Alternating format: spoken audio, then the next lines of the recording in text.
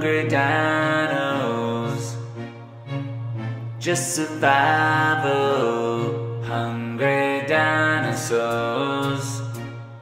Hungry dinosaurs. Oi pessoal, tudo bem? Eu sou o Cão Moreira do canal do Calonsauro Rex e eu vim trazer mais uma parte dos arquivos dos dinos da série do Italoraptor. Espécie de hoje, Giganotossauro.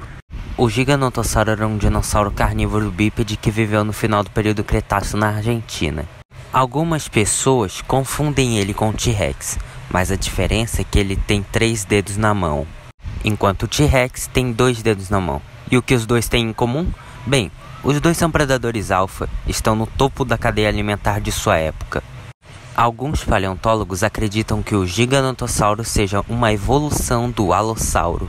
No prólogo de Jurassic World Dominion foi visto o Giganotossauro matando um T-Rex, mas isso nunca aconteceria na vida real. Por quê? Porque o T-Rex é da América do Norte e o Giga é da América do Sul. O Giganotossauro é o segundo maior carnívoro que o mundo já viu, porque o primeiro é o Espinossauro. No Vale da Biosyn havia apenas um Giganotossauro, mas há uma teoria que é um debate entre os fãs de Jurassic World e Jurassic Park que diz que o Giga tem um filhote. Mas até sabermos a resposta certa, isso irá continuar sendo uma teoria. E se bem que na série do Italoraptor temos um Giganotossauro que se chama Giga, alguns fãs preferem chamá-lo de Zeb, por causa de sua pelagem listrada que lembra uma zebra, ou melhor, um tigre. Mas não fiquem bravos, se vocês preferem chamar ele de Zeb, tudo bem. O Giganotossauro pesava até 14 toneladas, mas não subestimem ele pelo seu peso. Ele percorre a 50 km por hora. Então não adianta correr dele porque se fizer isso, você vai se arrepender e vai virar comida rapidinho. Ao contrário do Giganotossauro do filme Jurassic World Dominion, o Giganotossauro da série do Italoraptor está vivo. E isso é porque a série do Italoraptor não é canônica à franquia Jurássica. Se bem que isso explica também por que os Atrociraptors estão presentes na batalha final da segunda temporada da série. Em sua época, o giganotossauro costumava caçar argentinossauros, que eram saurópodes enormes. Mas eles só teriam chances de caçar um argentinossauro em bandos. E vão por mim, vocês não vão querer dar de cara com um giganotossauro, né? E ainda mais que se esse grandalhão e o T-Rex lutassem, isso daria num baita de um empate, porque tanto o giganotossauro quanto o tiranossauro ganhariam. Mas como o Giga da franquia é totalmente diferente do da vida real, eu tenho que admitir que quem ganharia no universo da franquia seria o Giganotossauro.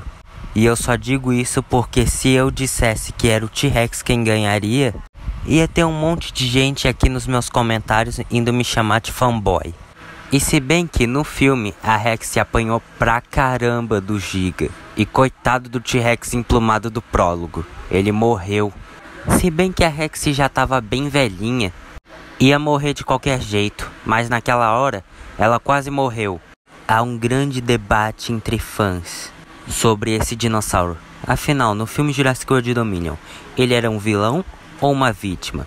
Muitos dizem que ele é um vilão, mas muitos também dizem que ele era uma vítima.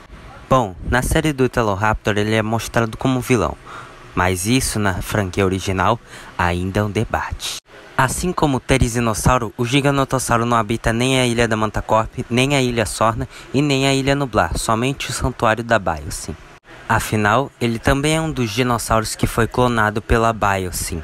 Se bem que a maior parte do Santuário da Biosyn é o seu território. Mas esse giganotossauro da série também possui um grande medo do espino. E isso porque o espinossauro é o verdadeiro maior carnívoro que o mundo já viu.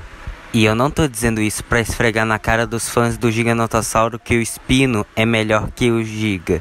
Só tô dizendo isso para os fãs verem quem realmente é o maior carnívoro que o mundo já viu de verdade. Bom, pessoal, o vídeo vai acabando por aqui. Eu espero que vocês tenham gostado, hein? Veja bem, se não tem que mandar matar uma desgraça dessa.